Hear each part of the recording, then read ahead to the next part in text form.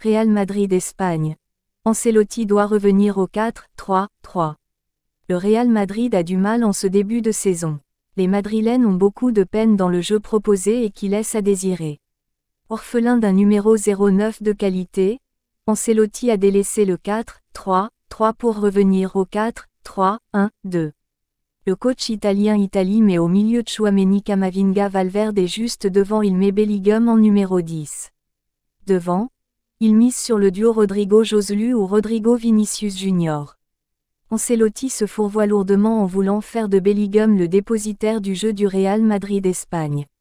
Contre l'Atlético Madrid, 3 à 1, Ancelotti a opté pour un milieu composé de Kroos Valverde Camavinga.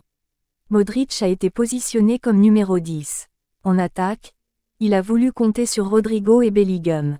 Ancelotti, à force de vouloir créer une formule, a fini par tout mélanger.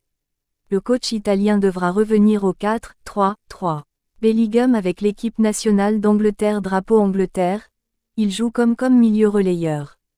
Bellingham doit être utilisé comme relayeur et non comme numéro 10. Valverde a les qualités pour jouer comme ailier. Donc, Ancelotti doit miser sur un milieu composé de Chouameni, Kroos et Bellingham. En attaque, il devra compter avec l'absence de Vinicius Junior, sur Rodrigo sur l'aile gauche et Valverde sur l'aile droite tout en laissant Joselu en pointe.